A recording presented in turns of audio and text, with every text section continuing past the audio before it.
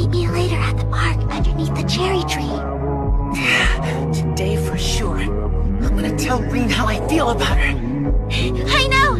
I'm late, sorry! No, it's okay. Everyone! Everyone? Why are... Why are all these people here? I asked them to come here so we could all discuss the gift, of course. Huh? What do you mean? What gift is that? Well, Kakashi's being promoted to Jonin, right? So, I figured we should give him some kind of present to celebrate. Kakashi's a Jonin? That's right. Didn't you know about it, Obito? I think it's something that we should all be proud of as his classmates. Uh... Yeah.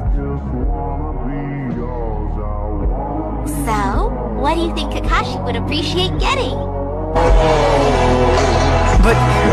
It's hard